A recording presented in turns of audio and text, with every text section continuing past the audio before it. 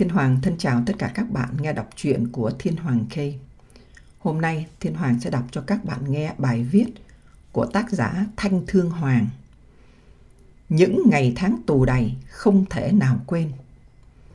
Tôi bị bắt ngày 5 tháng 4 năm 1976 trong cái trò bắt người mà Cộng sản gọi là chiến dịch X2 đánh văn nghệ sĩ phản động. Chiến dịch X1 trước đó đánh tư sản mại bản, tức là những nhà tỷ phú người Việt và người Việt gốc Hoa, đa số ở chợ lớn. Có ba nhà tỷ phú người Việt bị bắt là cụ Hoàng Kim Quy, cựu thượng nghị sĩ đệ nhị Việt Nam Cộng Hòa, hai anh em vua tàu thủy Phạm Quang Khai và Phạm Quang Hoa. Trước và sau tôi bị bắt vài ngày, có hơn trăm người gồm đủ bộ môn văn nghệ miền Nam, văn thơ, báo chí, nhạc kịch, đạo diễn điện ảnh, đạo diễn cải lương có đôi chút tên tuổi, đa số giam ở T20. Số 4 Phan Đăng Lưu bên hông chợ Bà Chiếu gia định. Vài người đi khám trí hòa. Khoảng 10 tháng sau, một số lớn được tha về. Chỉ còn 10 người bị quy kết tội có nợ máu nhân dân và chống cộng ở thượng tầng kiến trúc bị giữ lại.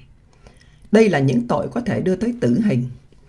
Sau 2 năm tra vấn hỏi cung xong, họ đưa bọn tôi lên trại Gia Trung, nằm trong khu rừng già, nghe nói trước đây là mật khu của Việt Cộng để lao động khổ sai. Tưởng cũng nên kể ra đây, tôi là người trong giới văn nghệ đầu tiên, mới nhập trại đã bị tống ngay vào biệt giam khu B1. Phòng 11 trại Phan Đăng Lưu. Có lẽ họ tưởng tôi là nhân vật quan trọng, là tay sai của CIA được dựng lên làm chủ tịch nghiệp đoàn, ký giả Việt Nam, hoạt động trong báo giới. Vì ngoài Bắc chức vụ này to lắm, do đảng đưa ra và quyền hạn cũng như quyền lợi ngang với bộ trưởng. Trong cùng dãy biệt giam khu B1 có những nhân vật tên tuổi như là Thượng tọa Thích Huyền Quang, Thượng tọa Thích Quảng Độ, Linh Mục Đỗ Bắc Ái, Tiến sĩ Mai Văn Lễ, là cựu khoa trưởng khoa Luật Đại học Huế, luật sư Nguyễn Hữu Doãn, luật sư Nguyễn Khắc Chính, nhà văn Doãn Quốc Sĩ, nhà báo Hồ Văn Đồng, nhà báo Như Phong Lê Văn Tiến, nhà văn, nhà báo, nguyên là dân biểu Hồ Hữu Tường. Những người này lần lượt vào biệt giam sau tôi một hai tuần. Đầu dãy khu biệt giam buồng số 1 là tướng Phục Quốc Nguyễn Việt Hưng. Tôi rất tiếc khi đó không biết nhiều về nhân vật này. Ông là người đầu tiên cầm đầu một số giam bảy người trấn trong nhà thờ Vinh Sơn, đánh Cộng sản với vài vũ khí thô sơ. Khi Cộng sản vào Sài Gòn mấy tháng, sau đó ông bị Cộng sản xử bắn. Vụ vùng lên khởi đầu chống đối Cộng sản này đã gây tiếng vang rộng lớn, làm chấn động dư luận khắp nước khi đó. Cộng sản phải điều động bộ đội công an cảnh sát vây hãm quanh khu vực nhà thờ mấy ngày liền mới trấn áp được. Tôi nghĩ chúng ta thật vô tình khi ở ngoài này, trải qua mấy chục năm, không thấy một ai nhắc nhở tới ông. Theo tôi, đây là người chiến sĩ quốc gia can trường bất khuất, dám đứng ra chống Cộng sản ngay từ ngày đầu. Chúng ta nên tỏ bày lòng ngưỡng mộ và khâm phục. Phía sau dãy biệt giam B1 là dãy biệt giam B2, có giáo sư Vũ Quốc Thông. Ông chủ nhiệm Nhật báo Lẽ Sống Mới Ngô Công Minh Ông Tống Đình Bắc, trưởng ty công an nổi tiếng sát cộng miền Tây, ông chủ nhà sách khai trí và một vài người nữa từng giữ chức vụ cao chế độ cũ. Riêng ông Ngô Công Minh, sau khi lên trại tù lao động ra chung với chúng tôi hơn tháng, thì Cộng sản đưa ông đi nơi khác. Từ đó không ai biết tin tức về ông. Có dư luận nói ông bị đem đi thủ tiêu vì mấy tay tổ văn nghệ, báo chí Cộng sản, từng quen biết ông trước kia muốn cướp không ngôi nhà lớn của ông ở Sài Gòn và vàng bạc của cải. Theo tôi, ông không phải nhà hoạt động chính trị, chỉ là nhà báo thuần túy nên không thể bị sát hại vì lý do chính trị. Khi tù về tôi có dò hỏi tin tức ông nhưng không ai biết một cách chính xác. Trong thời gian nằm biệt giam tôi cũng có vài việc để nhớ xin kể ra đây. Cứ mỗi tháng tù biệt giam được cho ra ngoài cắt tóc Bọn thế nhân chúng tôi tất cả đều bị gọt chọc đầu, kể cả vị linh mục.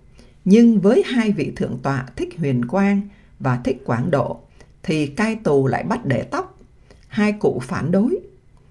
Cai tù thản nhiên, đó là chính sách nhà nước. Việc thứ hai là vì biệt giam mới làm chưa lắp ống dẫn nước nên mỗi ngày chúng tôi chỉ được từ 2 tới 3 phút vòi nước ở ngoài thọc vào để làm vệ sinh. Tôi không biết nên thản nhiên trà xà bông gội đầu. Đang làm nửa chừng vòi nước rút ra, mặc cho tôi nài nỉ. Báo hại đêm đó đầu tôi bị xà bông, làm ngứa ngáy khó chịu, không tài nào nhắm mắt ngủ yên được. Cũng vì nước tôi phải tự tranh đấu với mình, mãi mới nuốt xong phần cơm tù. Tôi chỉ có hai cái tô nhựa, một dùng đựng cơm, một dùng đựng canh. Vì phải chứa nước làm vệ sinh khi đi cầu, tôi nhịn tắm lấy nước chứa vào cái tô lớn màu xanh. Trong khi đi làm việc, hỏi cung, tôi viết mấy chữ bằng bút chì dặn anh tù hình sự để cơm vào nửa tờ giấy báo cũ, còn canh thì để vào cái tô nhựa màu đỏ. Nhưng anh ta đổ hết nước dự trữ đi, để cơm canh vào hai cái tô và đặt ngay trên bệ cầu tiêu chưa được dội nước, còn nồng nặc mùi phân của mình. Tôi ngồi hơn nửa tiếng đồng hồ nhìn hai tô cơm canh mà muốn ứa nước mắt, tự tranh đấu với mình, ăn hay là nhịn. Nếu ăn, khó nuốt trôi miếng cơm vì tởm lợn, nhưng nếu không ăn sẽ bị đói tới trưa hôm sau. Tôi lại mắc chứng đau dạ dày từ ngày Cộng sản chiếm Sài Gòn, nên sẽ khốn khổ lắm. Cuối cùng tôi đành nhắm mắt, nuốt vội chút cơm canh lạnh ngắt với hai hàng nước mắt. Tôi bị nhốt biệt giam hơn 10 tháng. Vào một buổi sáng trời âm u được gọi tên mang đồ ra khỏi buồng giam. Phía chéo buồng giam tôi liếc nhìn thấy nhà văn Duyên Anh để mặt sát ô vuông cánh cửa sát phòng giam tập thể. Hướng về phía tôi nói khá lớn, nhớ ghé nhà tao nói với vợ tao. Tôi chỉ nghe được tới đây thì bị viên cai tù nạt nộ cấm nói. Thì ra Duyên Anh tưởng tôi được tha về, nhờ tôi tới nhà nhắn tin cho vợ. Khi đi đến trước sân nhà khách, chạy giam, tôi thấy vài người quen ngồi đó với đồ đạc cá nhân lĩnh kỉnh. Chúng tôi chỉ đưa mắt chào nhau. Mấy phút sau họ điểm danh từng người xong, còng tay lại đưa lên chiếc xe hơi biết bùng, chuyển về cơ quan an ninh nội chính.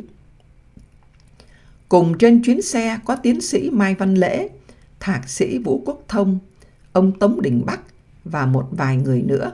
Giờ tôi quên mất tên. Trong lúc ngồi ngoài sân cơ quan chờ làm thủ tục gì đó, các bạn tù của tôi bàn cãi sôi nổi về dự đoán chúng tôi được đưa lên đây làm giấy tờ tha. Có vị còn cá một chầu ăn uống linh đình ở chợ lớn. Rồi lần lượt từng người được gọi tên đem hành lý đi vào phòng biệt giam. Tôi được gọi tên sau chót. May mắn cho tôi vì biệt giam hết chỗ. Viên công an tiếp nhận tù nói vậy. Nên được nhốt vào khu tập thể A. Gần 100 người đủ thành phần già trẻ lớn bé, tư sản, chính trị gia, linh mục, mục sư, thượng tọa, đại đức, trộm cắp, buôn lậu, nhốt chung trong một phòng dài trên 10 mét. Bề ngang nhỏ hẹp, u tối, ẩm ướt, thiếu ánh sáng và khí trời. Phòng có hai sàn, Sàn trên cao khoảng 1 mét, mỗi người được cấp manh chiếu rách cáu bẩn, nồng nặc mùi chua mồ hôi, người tích tụ lâu năm đã kết thành cao. Ở trên tôi nói may mắn không phải vào loại biệt giam, vì mấy tháng sau, anh Mai Văn Lễ được thả khỏi biệt giam vào phòng tôi, kể cho nghe thảm cảnh trong buồng biệt giam. Anh đã chết trong cõi sống mấy tháng qua. Buồng biệt giam Sở An ninh Nội chính được xây từ thời Pháp thuộc, có tuổi đời trên mấy chục năm. Tường bẩn thỉu lam nham, đầy cáu bẩn đen đúa, sàn xi măng ẩm ướt quanh năm, mùi mồ hôi, mùi phân, nước tiểu người tích tụ bao năm, tạo thành một thứ mùi hôi hám khó tả. Ngửi phải muốn nôn ọe ngay. Khủng khiếp nhất là cái cầu tiêu đã nứt nẻ và vỡ nhiều mảnh. Mỗi khi trời mưa, nước từ trong lỗ cầu dâng lên, tràn lan khắp buồng, với những cục phân chưa tiêu hủy. Nếu mưa lâu khoảng một giờ, nước cầu tiêu dâng ngập buồng giam hơn gang tay. Tù chỉ còn biết đứng dựa vào tường, chờ cho nước rút hoặc là ngủ đứng. Và khi nước vừa rút hết, sàn xi măng còn ẩm ướt, tù mới ngã lưng nằm, thì một hai chú chuột cống khá to, lông lởm chởm ghé lở khắp mình, trông dơ giấy khủng khiếp. chui lên từ miệng cầu, thản nhiên gậm bàn chân tù, đạp đuổi nó cũng cứ gan lì không chạy. Có lẽ từ lâu nó sống bằng xương thịt tù, bị chết chưa kịp mang đi. Anh Mai Văn Lễ kết luận, đúng là tầng chót địa ngục trần gian, có một không hai trên thế giới. Tôi được biết Linh Mục Hoàng Quỳnh, người lãnh đạo giáo dân khu Bùi Chu Phát Diệm, nổi tiếng chống Cộng sản bằng vũ lực, hồi còn ngoài miền Bắc. Linh Mục bị bắt từ ngày đầu tháng 5 75, bị giam và chết trong tầng chót địa ngục trần gian này. Khi họ đem xác Linh Mục đi trên cái băng ca, thân thể teo tóp gầy đét, bé nhỏ như đứa trẻ lên 10 tuổi.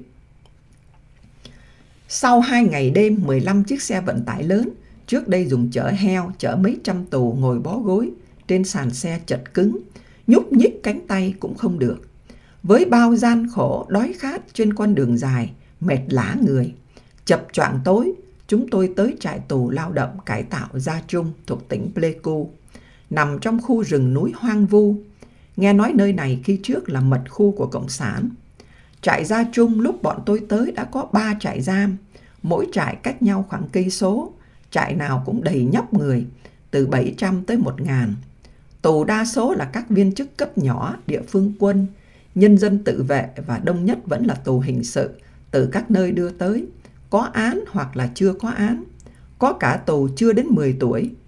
Đói quá liều ăn tô bún riêu ở chợ không tiền trả bỏ chạy bị bắt. Những nỗi đói khổ nhục nhã sống cuộc đời trung cổ, sách báo đã nói nhiều từ hơn 30 năm. Tôi xin miễn kể ra đây. Sự khổ sở nhục nhã chúng tôi còn có thể chịu đựng được, nhưng cái khủng khiếp nhất đối với chúng tôi là sự vô vọng ngày trở về đoàn tụ với gia đình, với đời sống ngoài xã hội. Bọn cai tù bắt chúng tôi học tập chính sách nhà nước là đem vợ con lên vùng đất tù đài này, quốc đất trồng khoai sinh sống. Tất nhiên chúng tôi không thể làm theo họ. Chúng tôi sẵn sàng hy sinh đời mình, chứ không thể để vợ con đã khốn khổ ngoài đời lại phải gánh thêm cảnh tù đầy. Trong những năm tháng không tên dài đằng đặc, như bao thế kỷ sống như cây cỏ như súc vật, chúng tôi hết cả hy vọng, hết cả chờ mong, thì có những tin tức như những làn gió mới, mát, mang theo hơi, sống tới. Tin đồn về chương trình HO, người Mỹ sẽ cứu chúng tôi đem sang Mỹ. Trong thời gian này các con tôi gửi thư cho tôi, nói bóng nói gió là hai hội văn bút quốc tế và Việt Nam đang ráo riết can thiệp vận động cho anh em cầm bút chúng tôi. Và các con tôi cũng báo tin có nhận được quà của hai hội gửi. Thời gian này bọn tù chúng tôi hồ hởi phấn khởi lắm, chỗ nào cũng bàn tán về chương trình HO. Với bao hy vọng tốt đẹp, và chúng tôi cũng hết lời ca ngợi Tổng thống Carter, vị ân nhân vĩ đại sẽ lập cầu không vận đưa chúng tôi từ Việt Nam qua Mỹ sống một đời ấm no, tự do, tươi sáng. Tôi cũng nghe nói tới tên một bà lúc ấy còn rất xa lạ với chúng tôi, bà Khúc Minh Thơ. Biết bao giai đoạn đồn đại theo dệt về bà được dựng lên. Qua câu chuyện và lời bình luận của anh em tù, tôi có cảm tưởng bà Khúc Minh Thơ như một bà tiên đang cầm cây đũa thần, giúp chúng tôi từ vực thẳm lên. Rồi ngày tháng tiếp tục lặng lẽ trôi qua, tất cả mọi việc vẫn như cũ, không có biến chuyển gì xảy ra. Chúng tôi lại tiếp tục buồn nản thất vọng, lê cái thân tù đầy, mòn mỏi, héo hắt trong quốc nạn khổ sai. Mong nhưng không đợi, không chờ, như câu thơ của giáo sư Vũ Quốc Thông làm và đọc cho tôi nghe. Sau gần 10 năm, thân thể rã rời, hư hao, chỉ còn bộ da bọc xương. Tinh thần suy sụp chán nản chẳng còn gì để mong để chờ. Và cũng hết cả, cú tha bất ngờ. Thì anh Doãn Quốc Sĩ được gọi tên tha.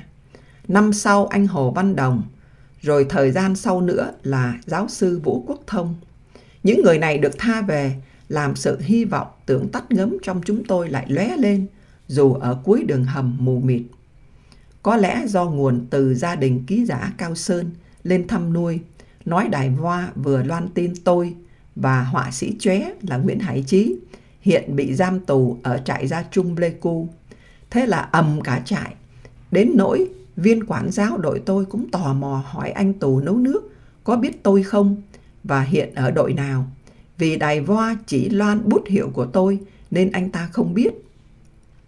Báo hại tôi từ khi có tin này không được tự động đi gánh phân người từ trại ra ngoài đồng nữa. Phải về đội quốc đất chặt cây đào mương như mọi anh em tù khác. Gánh phân tuy có vất vả bẩn thỉu hôi hám mất vệ sinh thật, nhưng chỉ nửa buổi là thanh toán xong các hố xí. Thời gian còn lại thoải mái, xuống suối tắm giặt và đi va tạt linh tinh, kiếm củ khoai mì hay vài cọng rau lang cải thiện cho ấm, cái bụng thường trực rỗng. Nếu tôi nói đã hơn một lần tự động ăn phân người, có lẽ nhiều người không tin cho là tôi nói quá để kể khổ thân phận tù đầy dưới chế độ Cộng sản. Lần thứ nhất quãng hơn 10 giờ, tôi vừa đói vừa khát, ghé vào chỗ tròi đun nước uống của đội để uống nước. Anh bạn được phân công đun nước, nguyên là đại úy cảnh sát quốc gia, vốn quý mến tôi. Thấy tôi đến, anh mắt nhìn chỗ khác, nhưng miệng nói nhỏ. Bác đi tới phía bụi cây bên trái. Tôi biết là có gì rồi. Tới nơi nhìn vào trong bụi cây tôi thấy nửa trái dưa chuột nhỏ. Tôi cầm lên bỏ vào miệng nhai liền. Có lẽ trong đời tôi chưa bao giờ ăn miếng dưa chuột ngon đến thế. Vừa nuốt xong nửa phần dưa chuột, tôi chợt nhớ ra, ngừng nhai, tiến lại chỗ anh bạn đun nước nói. Này ông ơi, có phải trái dưa này tẩm phân người? Anh bạn gắt nhẹ. Đã bảo bác cứ ăn đi, không chết đâu mà sợ. Nghe anh bạn nói, tôi biết mình đã lỡ ăn rồi. Nên tiếp tục cố nhai và nuốt nốt phần dưa chuột còn lại. Nguyên do thế này, trong vườn ươm giống của đội trồng rau có một dàn dưa chuột. Khi dưa mới kết trái to hơn ngón tay, đã bị tù và cả cai tù hái trộm ăn hết. Nên ban giám thị trại tù ra lệnh lấy phân tươi của người hòa với nước rồi hàng ngày quét vào những trái dưa chuột, cho hết bị trộm.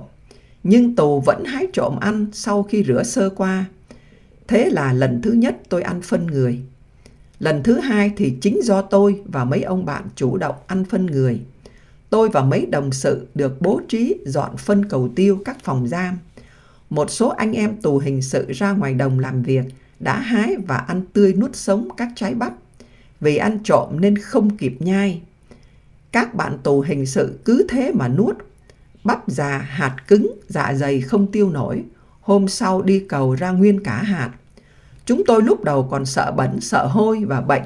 Nhưng sau khi sôi nổi bàn thảo, chúng tôi đi tới việc lấy những hạt bắp này ra, đem ra suối rửa, luộc hai ba lần cho hết mùi hôi, rồi ăn một cách ngon lành thoải mái.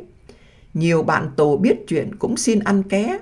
Tôi được ấm bụng ít ngày thì bị ngưng công tác vì đài voa loan.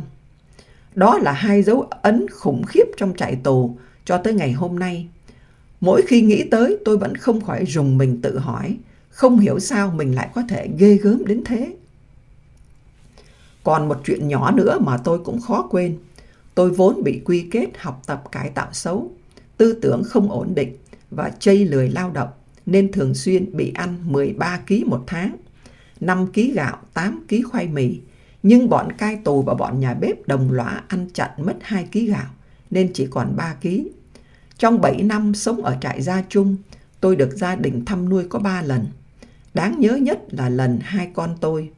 Còn vị thành niên, một trai 15 tuổi và một gái 13 tuổi, đi xe đò hơn ngàn cây số lên thăm bố với gói quà khoảng 10 kg. Khi đến cây số 25 quốc lộ 18 thì xuống xe, lúc đó là 2 giờ đêm, trời rất lạnh, lại ở chốn rừng thưa hoang vắng, không biết đường vào trại. Hai anh em phải ngồi dựa lưng vào nhau chờ sáng, trong lòng vừa sợ vừa lo mọi thứ, nhất là với thú dữ và kẻ cướp. Sáng hôm sau tôi được gọi thăm nuôi. Tôi cố làm nét mặt lạnh lùng vô cảm để tránh trận nước mắt của hai con tôi khi nhìn thấy thân thể tiều tụy, mòn mỏi hết sinh lực của bố chúng. Như đã viết ở trên, vì tôi học tập cải tạo xấu, lao động kém, nên chỉ được nhận 2 ký đồ thăm nuôi. Tôi nhìn thấy một gói bột trắng khoảng 1 ký. Tôi tưởng là bột gạo hoặc là bột sữa, nên lấy gói này và một gói xả xào mắm ruốc vừa đủ 2 ký. Hai con tôi đứng trước cửa nhà thăm nuôi nhìn theo. Tôi biết chúng đang khóc, nhưng không đủ can đảm quay lại nhìn. Tôi sợ không cầm được nước mắt và òa khóc. Tôi nghe tiếng con gái tôi nói trong nước mắt. bố ráng giữ gìn sức khỏe để còn sống trở về với các con. Vào tới buồng tôi mở ngay gói bột ra, pha nước vào cái tô nhựa và ngoắng cho tan bột.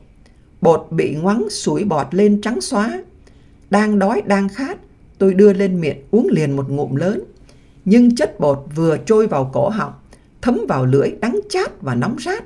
Không có mùi vị gì có thể gọi là sữa cả, dù là sữa quá đát.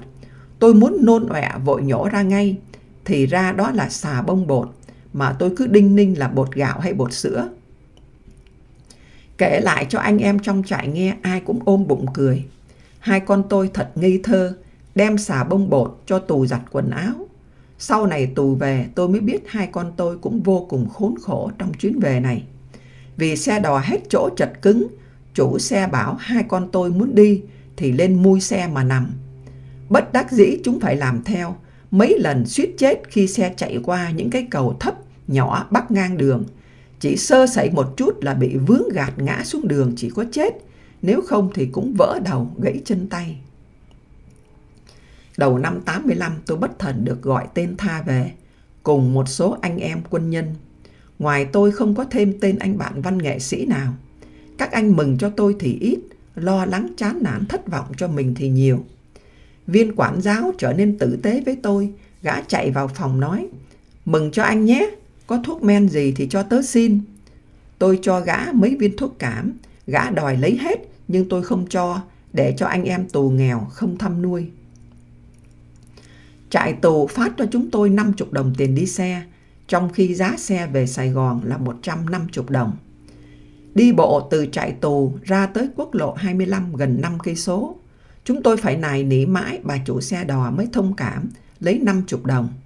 Xe đầy nhóc người y ạch chạy như rùa bò trên con đường vòng vèo dốc núi treo leo đầy bất chắc. Nguy hiểm, tôi và ba anh tù đi cùng chuyến xe, không một đồng bạc dính túi, phải nhịn đói nhịn khát hai ngày đêm liền, cho tới khi về tới nhà ở Sài Gòn. Một anh có sáng kiến đem bộ quần áo tù mới tinh được trại tù phát khi tha gạ bán cho mấy người trên xe để lấy tiền ăn, nhưng đều bị từ chối vì ai cũng sợ xui khi mặc đồ tù.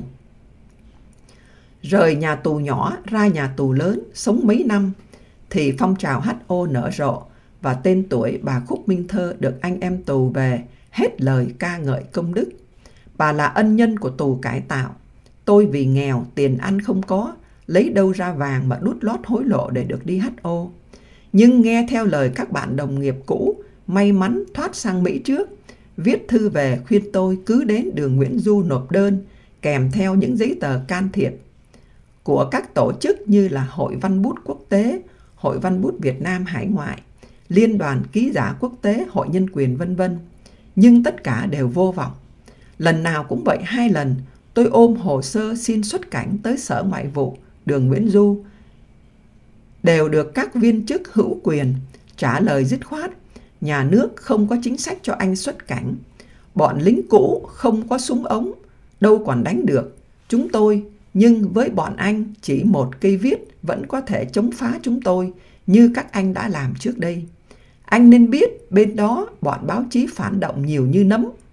Thế là con đường sống bị triệt, hết hy vọng, hết chờ mong. Tôi đành sống kiếp mạt rệp, một thứ công dân hạng bét, ngay trên quê hương đất nước mình. Nhưng tới cuối năm 98, tôi được anh bạn nhà văn Hoàng Hải Thủy từ Mỹ gửi thư về báo cho tôi biết và nhà văn Uyên Thao được bà Khúc Minh Thơ, Chủ tịch Hội Bảo vệ Gia đình Tù nhân Chính trị Việt Nam, đã tận tình can thiệp với Bộ Ngoại giao Mỹ để chúng tôi được sang Mỹ định cư. Chính Hoàng Hải Thủy sốt sắng giới thiệu hai chúng tôi với bà Khúc Minh Thơ và cộng tác mật thiết với bà trong công việc vận động. Con đường hy vọng, con đường sống lại mở rộng trước mắt tôi. Buổi tối ngày 18 tháng 5 năm 1999, tôi lên máy bay giã biệt quê hương tăm tối sang Mỹ định cư. Tôi lại được sống lại dưới bầu trời tự do dân chủ như tại miền Nam Việt Nam trước năm 1975. Tuy nhiên nhiều đêm vẫn giật mình thức giấc vì những ám ảnh não nề thê thảm, khốn cùng của những năm tháng tù đầy. Các bạn vừa nghe xong bài viết của tác giả Thanh Thương Hoàng. Thật sự đó thì không phải một mình anh qua Mỹ rồi mà thỉnh thoảng vẫn có những giấc mơ hãi hùng về ban đêm. Thiên Hoàng có nghe rất là nhiều người, thường là các anh đã từng đi tù cải tạo đó, thì các anh nói rằng là qua Mỹ một thời gian đó, thỉnh thoảng ban đêm vẫn bị những giấc mơ như vậy ám ảnh. Các bạn vừa nghe xong bài viết của tác giả Thanh Thương Hoàng. Bây giờ thì Thiên Hoàng xin tạm biệt và hẹn gặp lại các bạn trong những bài viết khác.